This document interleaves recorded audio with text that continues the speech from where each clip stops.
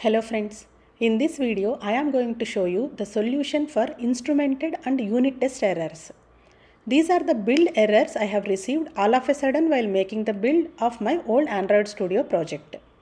It says package androidx.test.platform.app does not exist. Same way there are other package errors in example instrumented Java class. Let's see what is causing the errors and how to solve them in our project.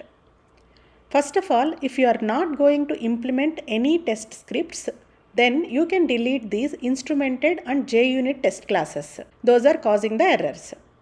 So right click on this Android test package and delete. Delete directory Telugu. Here click on delete. Same way try deleting JUnit test directory. Okay, now rebuild the project. See the build is successful and test classes are deleted. Okay, delete uh, these two empty directories also and make the build. Build is successful. If you want to have them for testing purpose, then you need to fix the errors instead of deleting them. For that, click on the error import, select red balloon mark. It says add dependency on androidx.test.monitor.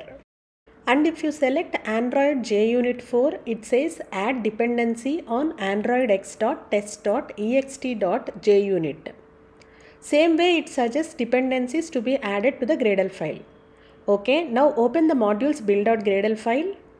Add dependencies for those errors. Because these errors are related to Android test classes, add dependency under Android test implementation.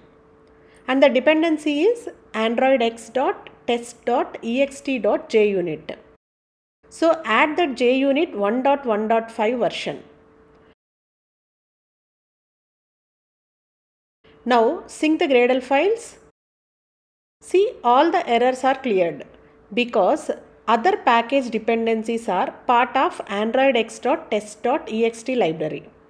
See here under this library version 1.1.5 you can find the dependencies which has all those other import classes those are causing errors.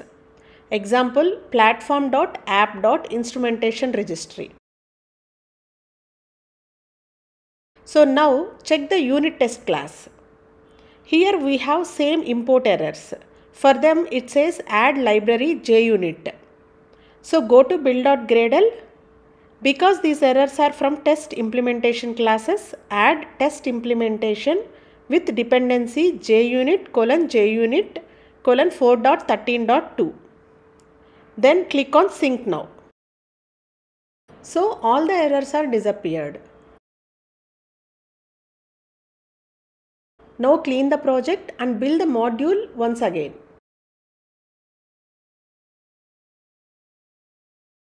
See build is successful without any errors.